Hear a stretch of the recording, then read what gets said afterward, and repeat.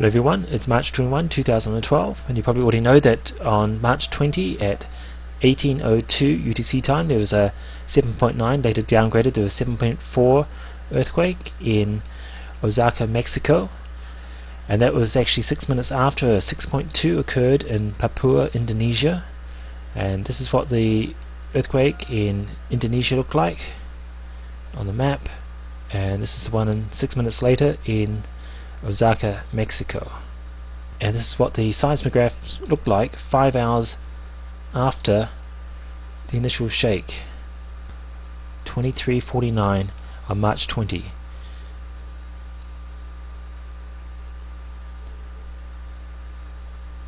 As you can see it's rather black. This is definitely the biggest earthquake we've had this year.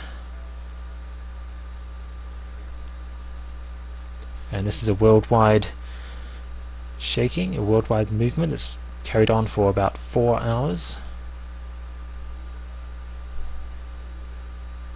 Okay, in contrast, the earthquake in Japan on March 11 last year, this movement carried on for four days. So, put it into perspective, but still, this is the blackest we've seen it so far this year.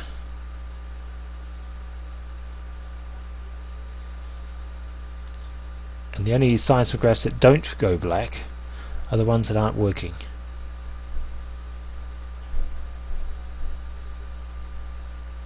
You can see Antarctica, it wasn't operational at the time of the shake. That's the only reason is it's not black as well. If you look at another Antarctic one, you'll probably find it is black. I'll quickly find an Antarctica one in the moment.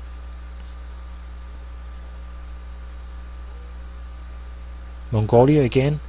It wasn't working at the time of the shake that's why it's not black. Here's another Antarctica seismograph here.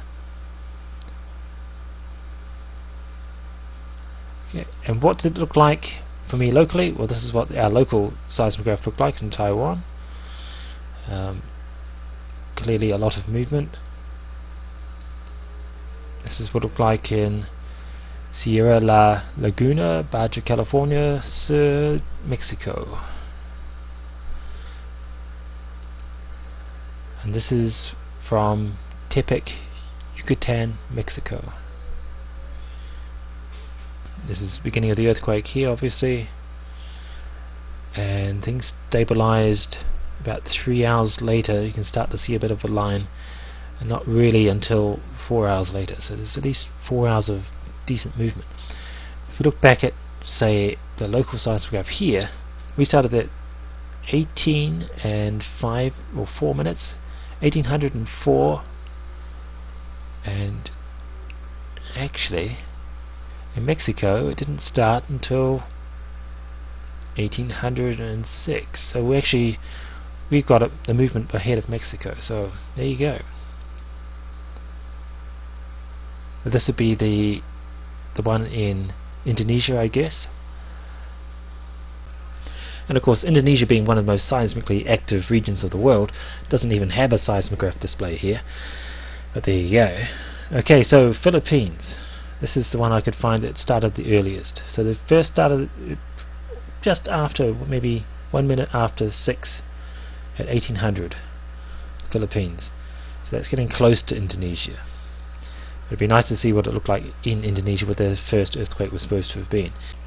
If we have a look at the earthquakes, tides and alignments charts, we can easily see that in terms of absolute energy, March 20th was the most active day so far this year. The previous most active was January 10 and February 2nd. Let's pull up the log of energy and you can see that we've got several other peaks that fall in there. And there's something very interesting which I've noticed about this, and I didn't mention it in my previous video because it didn't really seem to make any sense. But um, now that we've got this extra earthquake, I think it's time to mention this other observation I've made, and that's in terms of a pattern which perhaps supersedes this prediction for March 22nd. On February 26th this year, we had a magnitude 5.9 here in Taiwan, and that showed up in seismographs all around the world. However, a few hours later there was a 6.7 in Siberia, and that sent the world seismograph black. And then if you go to the halfway point between the magnitude 7.3 in Sumatra on January 10, you find you get to the magnitude 7.1 in Vanuatu on February 2nd. And then it turned out if you took the Vanuatu earthquake, the halfway point between that and the Taiwan and Russian earthquake was the Solomon Islands at 6.4. And if you add to that, there is another earthquake in Vanuatu, which is a 6.7 at the same interval, and halfway between that earthquake and the one in Siberia and Taiwan, we've got one on the Loyalty Islands at 6.6. And if that interval repeats itself, I was thinking, well, there's something going on here. And of course, we had that interval again in Japan, 6.9 was measured at. And now, on March 20, there's two earthquakes, one in Indonesia and one in Mexico. And that's the pattern that we're looking at. So what is the interval between the main quakes in the sequence so far? Well, it appears to be 23 and a half days. And then between the secondary quakes in the sequence, it's 11.75 days. And then for the quakes in between those, it's 5.875 days, or 5 and 7 eighths of a day. So how does this fit in the pattern we'd normally see with conjunction between the Earth and Moon and the Pleiades or Orion and, or Jupiter and getting earthquakes on those kind of alignments? Well, it's looking like this is now the overriding pattern and it supersedes everything. And the pattern seems to be getting more defined and stronger. So how does this pattern fit in with the 188 day cycle? Well, I still don't think there is a 188 day cycle. I thought at best it was a 377, and I think this pattern actually overrides that. And we're more likely to see something on March 26 rather than March 22nd. But I don't think we're going to see anything major on March 26 you've got to keep in mind we've got the magnetopause reversal the other day and of course I've been trying to triangulate an object using the sea level minimums. So do we have an intruder in our solar system that has a rotational period of 5 and 7 eighths of a day? Or perhaps has a moon with an orbital period of 5 7 eighths of a day?